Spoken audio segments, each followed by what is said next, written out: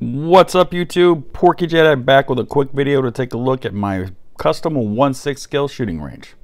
Let's take a look.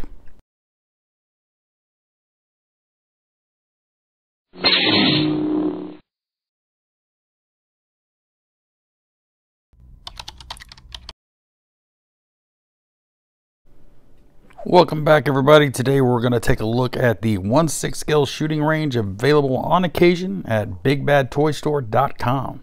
I was turned on to these by a video done by Jedha Patrol. I will link that video in the description below. If you're a 1-6 scale collector and you're not already watching his videos, I'm just really not sure what you're even doing. I say available on occasion because I've never actually seen them in stock on the website, but they still have them listed, and I know that's where Jedi got his. After about six to eight months of checking the site fairly often, I threw in the towel and took to eBay. I didn't get any video of me putting these together or opening the box. I'm going to be honest, I really didn't plan on doing a video until after I got these together and customized, and I decided a video was a must. Okay, this is how these are going to come. Some assembly required, pun intended. You'll get the base, two sidewalls, a table, a kick plate, and two cross beams. Also included are several targets, target stands, and stickers. The targets and stickers have more of a real world application, so I will not be using those. All right, everybody, here they are. I picked up three of these. I have customized them to fit my theme, which is Star Wars. I used my Cricut to print out some stickers and uh, threw them on here to make them more in-universe. Across the cross beams across the top, I put B1, 2, and 3 to indicate Bay 1, Bay 2, and Bay 3. Printed out some black Imperial logos, put them on each side over there. Again, on the tables, uh, white Imperial logos. Across the bottom down here on what I'm calling the kick plate, don't really know what that's called, but I'm calling the kick plate. It says firing line in Aurebesh.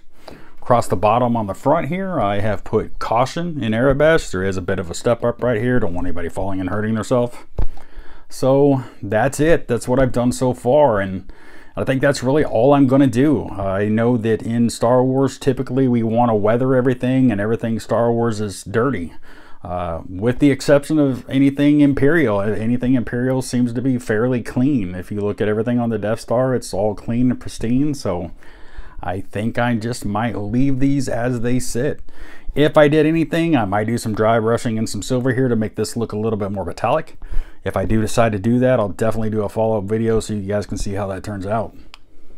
I'm going to be displaying these in my Star Wars case with probably a couple stormtroopers, probably one on each side, probably going to leave the middle one empty. I also have plans on 3D printing a gun rack that'll go over here to the side and hold some extra weapons, maybe some extra helmets. Uh, and that's how I'll be displaying it.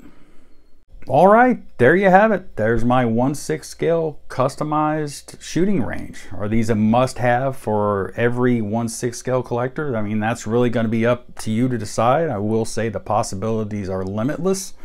They should be customizable for just about any generic you can think of. You can throw a Batman in there, you can throw a Hawkeye in there, a Robocop. I mean, and the list goes on. So I will say the only downside is these things are huge and they take up a lot of real estate. Uh, sometime down the road, I may actually end up cutting this down to two. Uh, but for now, until I get more figures and need more room, I'm going to go with the three and, and display them how they are. Okay, everybody, thanks for stopping by and checking out my video. If you liked what you saw, make sure and hit that like button. If you didn't like it, don't be a Karen and keep it to yourself. To see my upcoming videos, make sure you follow me and hit that subscribe button so you know when I post a new video. See y'all next time.